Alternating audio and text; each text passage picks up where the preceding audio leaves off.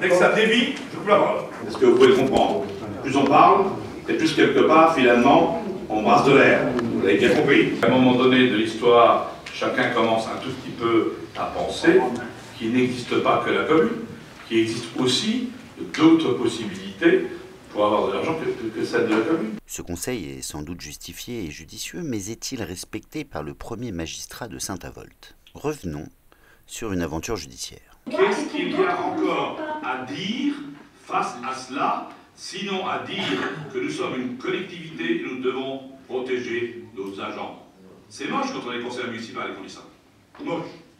Sauf que les agents que vous harcelez, que vous menacez, vous ne leur proposez pas, vous leur proposez pas la protection juridique. Moi, hein harcèle, moi. Ah, vous n'avez pas été condamné, vous, pour harcèlement. Ah non, ah, justement non, tiens. Non Ah non, pour harcèlement, ah. Relisez, relisez, relisez les jugements. Vous avez été jugé pour discrimination. Relisez les jugements. Et la discrimination, pas du tout. dans la discrimination, il n'y a pas de Syndical.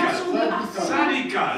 Et dans la Pas discrimination. Ah, et les personnes qui représentent les syndicats, ce ne sont pas des agents. Vous ne lisez rien, vous croyez tout savoir. Vous ne lisez rien, vous ne lisez rien, vous croyez tout savoir, et je suis assez honteux de vous avoir comme conseiller municipal. Enfin, bref, le maire a été condamné en 2014 par le tribunal de grande instance pour discrimination syndicale. Condamnation confirmée en 2015 par la Cour d'appel de Metz. Alors qu'a-t-il fait après cela? Je suis respectueux de la démocratie. C'est sans doute pour cela qu'il a fait payer par la ville son amende de 9000 euros. Et lorsque Jean-Claude Brême, conseiller municipal, s'en émeut par courrier, la trésorerie de Saint-Avold a une réponse qui pose question. Ce serait au maire de payer, mais l'article 11 de la loi du 13 juillet 83 l'en dispenserait. Voyons cela de plus près. En effet, il s'agit ici d'une faute personnelle détachable de l'exercice des fonctions du maire. Alors, il semblerait que ce ne soit pas au contribuable de payer pour lui. Dès que ça dévie, je coupe la parole. Ah, ça recommence.